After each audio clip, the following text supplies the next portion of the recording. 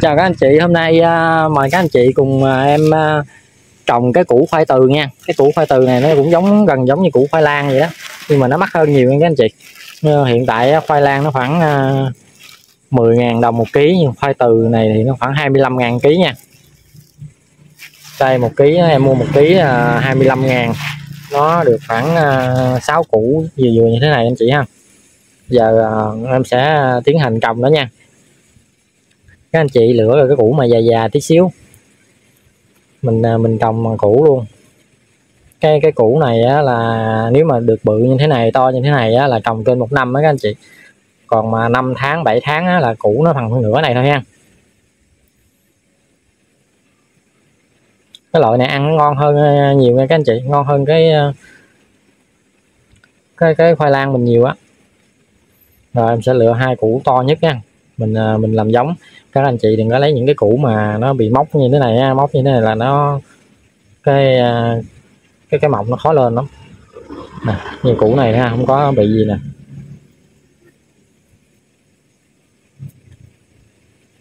À, củ này cũng bị móc nè anh chị ha. Mấy cái đó để mình luộc ăn đi mình lấy hai củ làm giống thôi. Rồi em sẽ chọn hai củ này nha rồi hai củ này nó không có móc gì hết.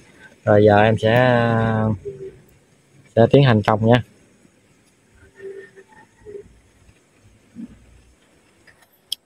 À, mấy cái chậu này là môn này các anh chị môn sáp em trồng con chậu này ha. Rồi giờ em sẽ tiến hành trồng cái à, cái à, uh, củ từ này. Đây là còn một cái chậu phân nè chậu phân này hôm bữa là em ờ, cộng sẵn rồi nè ha. Em sẽ tiến hành trồng trong chậu này luôn.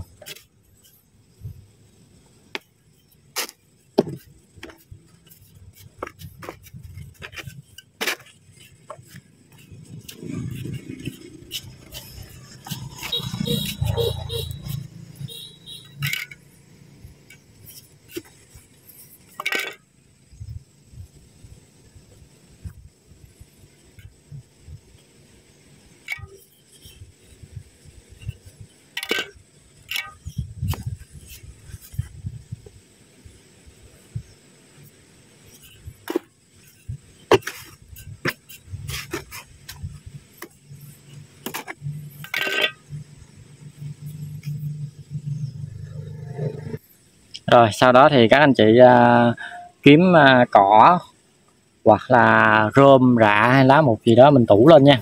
Bữa nay em hết rơm rồi em sẽ dùng một mớ cỏ tươi này em sẽ à, tủ nó lên như thế này để cho nó nó giữ ẩm á nó không có bị cái ánh nắng làm ảnh hưởng ha.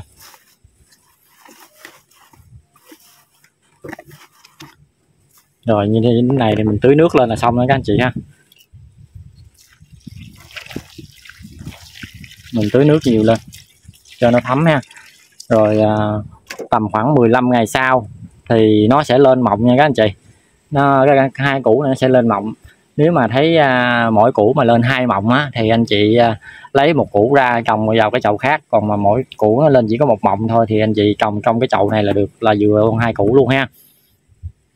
Cái loại này á nếu mà trồng chậu như thế này á là các anh chị phải à, chừa lên khoảng à, gần một gang tay như thế này. Để sau này mình bón thuốc cho nó. Bón thuốc cho nó rồi à, có thể là dùng phân viên á. Mình bón cho nó ha. À, cứ tuần mà mình bón lần. Rồi à, khoảng 5 tháng sau là nó có củ rồi các anh chị. Mà các anh chị muốn cho nó à, củ nó nhiều á thì các anh chị phải bón phân cho nó đầy lên ha. Rồi đầy cái thân thùng này luôn nha. Bón nhiều lần ấy, sao cho nó đầy cái thùng này. Rồi à, sau đó là khoảng 8 tháng là cái lá chân nó sẽ bắt đầu à, vàng. Ha cái lá chân của cái cây nó bắt đầu vàng. Nó là cái là dạng dây nha nó nhảy cái, cái dạng dây giống như vậy nè. Cái này là dây của cái củ sắn nha các anh chị. Củ sắn đó. Củ sắn em, em à, trồng hôm bữa đó nó lên như vậy đó. Em chưa có làm vàng cho nó leo được đó đó rồi các anh chị cứ uh, thấy mà lá chân nó vàng một hai lá rồi đó là mình có thể thu hoạch được rồi đó các anh chị. Ăn rất là ngon ha. Mà hôm nay em chỉ chia sẻ ngắn gọn trồng củ từ bằng củ mua ngoài chợ về ha. Rồi cảm ơn các anh chị đã theo dõi ha.